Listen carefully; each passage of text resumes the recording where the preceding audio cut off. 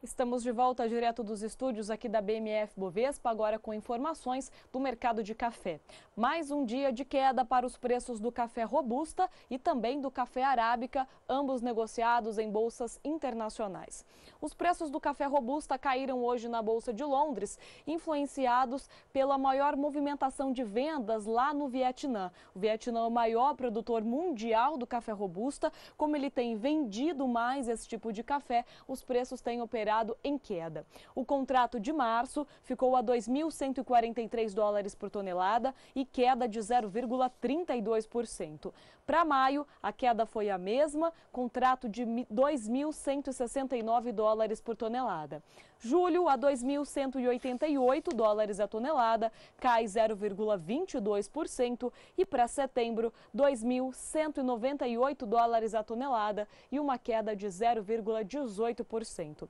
Os contratos do café arábica na Bolsa de Nova York também tiveram queda hoje. Aí a queda foi provocada por uma expectativa do mercado de aumento na oferta global com um aumento na produção aqui no Brasil. Março, a 1 dólar e 39 centos por libra peso, cai 0,46%. O contrato de maio negociado a 1 dólar e 40 centos por libra peso, recua hoje 0,53%. Queda de cerca de 0,5% também para o contrato de julho, a 1 dólar e 43 centos por libra peso, e de setembro, a 1 dólar e 45 centos por libra peso.